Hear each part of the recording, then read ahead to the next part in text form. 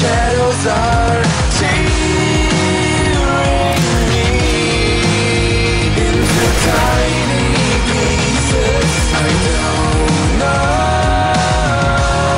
where I am. I just remember frustration.